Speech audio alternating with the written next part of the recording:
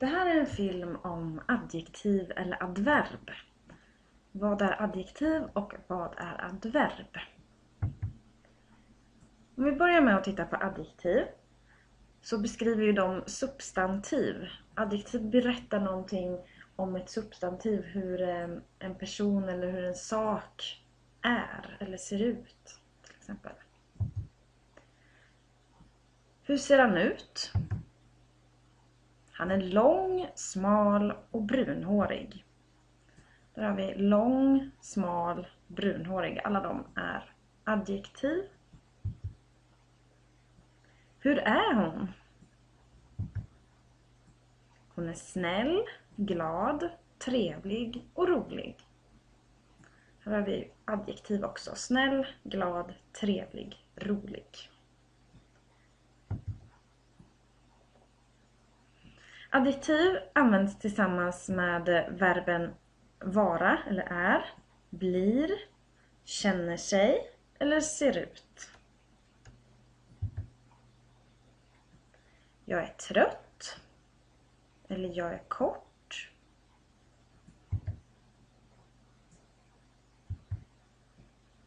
Jag blir ledsen när du säger så. Jag blir ledsen där. Som är ett Eh, adjektiv. Känner sig. Han känner sig lycklig. Alltså glad, positiv. Allting är bra. Lycklig. Och ser ut. Idag ser de glada ut. Och adjektiv de böjs ju efter om det är en person till exempel eller om det är flera personer.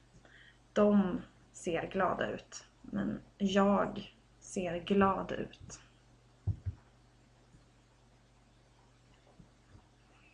Ska vi titta på adverben. Adverb, de beskriver verb och adjektiv och berättar mer om ett verb eller mer om ett adjektiv eller mer om ett annat adverb. Till exempel, hur springer han? Där vi springer är eh, verb. Och hur springer han? Jo, han springer snabbt. Han springer fort, han springer snabbt. Hur snygg är hon? Hon är snygg, men hur snygg? Hon är otroligt snygg. Då har vi ju snygg som ett adjektiv och otroligt är ett adverb som berättar mer om adjektivet. Hur snygg? Jo, hon är otroligt snygg. Alltså hon är väldigt snygg.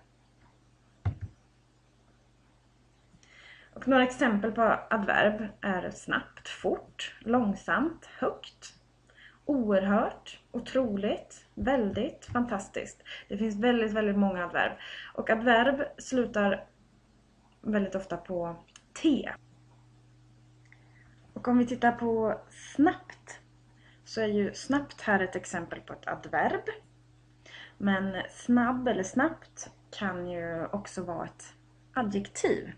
Till exempel en snabb bil, ett snabbt tåg eller ett snabbtåg, två snabba bilar. Om snabb berätta mer om ett substantiv som till exempel i det här eh, exemplet så var det en bil. En bil är ju ett substantiv. En snabb bil. Då, då är det ju ett adjektiv och man får böja, man får ändra adjektivet om det är en ord, ett ord eller om det är plural. Men eh, om snabbt berättar eh, någonting mer om ett verb. Till exempel bilen åkte snabbt eller bilen körde snabbt. Då blir snabbt ett adverb. Ett adverb som berättar mer om verbet. Alltså hur åkte bilen? Jo, bilen, eller hur körde bilen? Jo, den körde snabbt. Den åkte snabbt.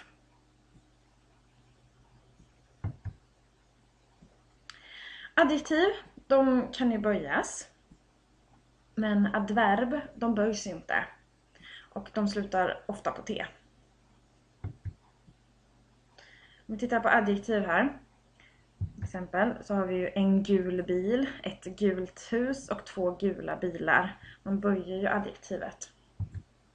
Sen kan man ju också komparera adjektiven och det kan man också med adverb. Jag ska visa snart. Jenny är glad, Stina är gladare än Jenny, Erika är gladast av alla. Det är några exempel på ad adjektiv. Om vi tittar på adverben istället så slutar de ofta på T. Till exempel jag sjunger högt, han sjunger högt och vi sjunger högt. Man ändrar inte dem om det är en eller flera. Utan de böjs inte. Och då är alltså frågan, hur sjunger vi? Jo, vi sjunger högt. Då blir högt ett adverb. Hur sjunger vi? Hur gör vi verbet? Jo, högt.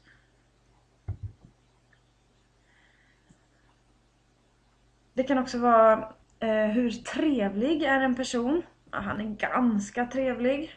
Eller de är ganska trevliga.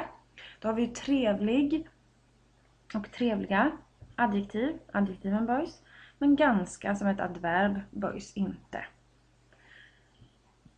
Det är en vacker tavla. Vacker, ett adjektiv. Men hur vacker är den? Och den är fantastiskt vacker. Den är väldigt, väldigt, väldigt vacker. Den är oerhört vacker. Så fantastiskt är ett adverb. Och adverben kan också kompareras och då komparerar man dem precis som adjektiv. Till exempel Jenny springer fort, Stina springer fortare, Johanna springer fortast. Hur springer de? Jo, de springer fort. Men Stina springer fortare. Och Johanna springer fortast.